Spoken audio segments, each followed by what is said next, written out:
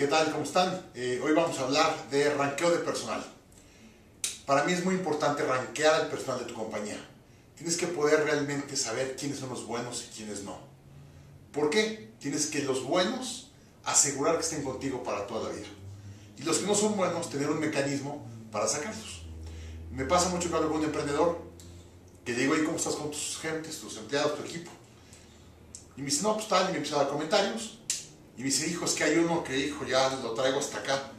Y digo, ¿por qué no lo corres? Pues que lleva 10 años conmigo y le tengo que pagar pues dos años de salario y tal, tal, tal, para que se vaya. Y le digo, ¿y por qué no lo corres? Es que le quiero, no le quiero pagar todo eso. Le digo, ah, entonces lo vas a dejar un mes más y le vas a deber todo lo que le debes más un poquito más. Encima le vas a pagar ese mes, mes de más y encima te vas a hacer el trabajo mal. Es completamente inaceptable tener gente que no te está dando resultados. Entonces, eh, Jack Welch, eh, director de G, cuando entró a ser presidente de G, le dijeron felicidades, bienvenido al puesto, esperamos que te quedes 20 años. Dijo, gracias, voy a hacer dos cosas bien mientras esté aquí. La gente dijo, oye, esperamos que estés mínimo 20 años. Dijo, no, no, si hago dos cosas correctamente bien, va a valer la pena mi tiempo aquí, 20 años.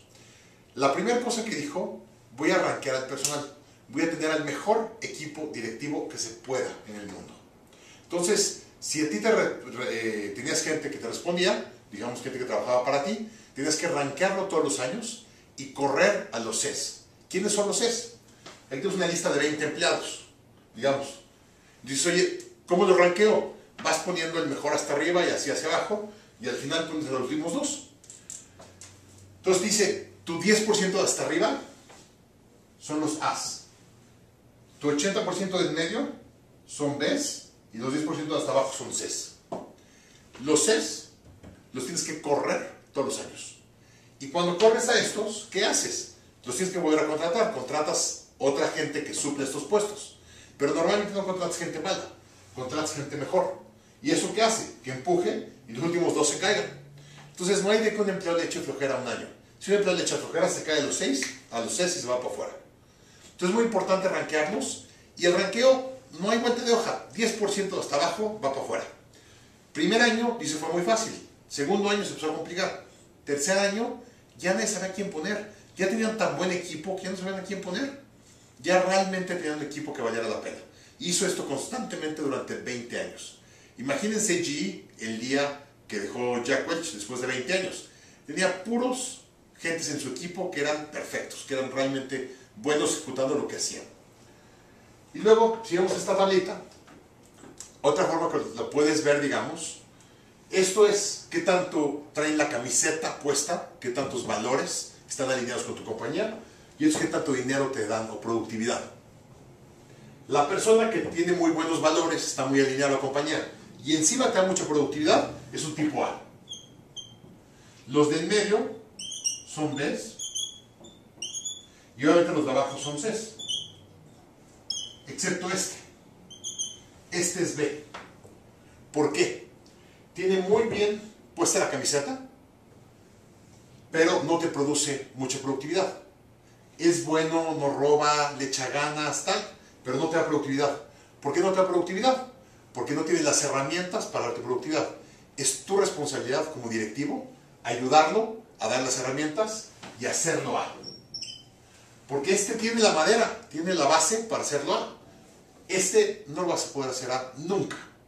Este es el típico vendedor que vende el 20% de lo que vende la compañía, pero es un hijo de su madre. Da dinero gana un contrato, se acaba llevando a los lugares estos de mujeres a todos los compradores, les da regalitos, anda persiguiendo a las secretarias. Este es un desastre. Este es el más difícil de correr, porque no puedes correrlo, te da el 20% de tu ingreso y te da miedo y ahí lo dejas. Pero dice, oigan, la junta es a las 10 de la mañana y el señor entra a las 10 y media tranquilito. Oye, es que la junta es a las 10 de la mañana, es que no quise llegar. Y nadie le dice nada. ¿Por qué? Porque es el que vende el 20%. Este es cáncer. Se va comiendo a tu organización poco a poco. El día que lo sacas, primero, te pelas de miedo porque se va este cuate y no sabes quién va a vender lo que él vendía. Para empezar. Pero después, realmente el resto de la organización descansa. Y dicen, hijo, ya era hora este cuate lo traía hasta acá y, nadie se, realmente se avienta a sacarlo. Este es muy productivo, te da mucho dinero, pero está pésimamente alineado a tus valores, a traer buen puesto a la camiseta, a echarle ganas por el equipo. Este es muy difícil. Este hay que llevarlo para acá, este no se puede ir. ¿Sabes cómo te das cuenta quiénes son los As? Si un cuate A se va de tu compañía, te tiras al piso a llorar y le vas a los pies. Por favor, no te vayas. De estos dependes. Son estos. Son excelentes personas. Los de acá son los que realmente llevan la compañía hasta la chamba, son el 80%, y estos son el 10 de hasta abajo, que los tienes que correr. Tienes que aprender a decir, basta ya, para afuera. Duele mucho, es difícil correr gente, les tienes que pagar una salida, ni modo, pero es más fácil que los saques ahorita y que ya no los, no los dejes después. Se cree que un mal empleado contratado te cuesta alrededor de tres años de salario. No es nada más los dos o tres meses que se quedó que le pagas salario. Luego tienes que correr, pagarle una salida y cuánto dejaste de ganar por tenerlo a él ejecutando. ¿Cuántas oportunidades dejó de ir por ser C? Es más, ¿cuántos problemas te dejó en la compañía por haber sido un C? Entonces es muy importante sacarlos. Un día nos tocó con un, eh, un cliente aquí en México, en Hermosillo, que tiene un call center. Tiene 650 personas en su call center. Y dijimos, oye, ¿por qué no ranqueas? No, no, pues eso es medio inhumano y no sé qué. Y dijimos, no, no, no, vamos a ranquearlos. Y ranqueamos, digamos, en cuatro, ¿no? El mejor 25%, después el segundo 25%, digamos, el tercer 25% y el cuarto 25% y a todos les pagaban igual. Le pagaban salario más comisiones, ¿no?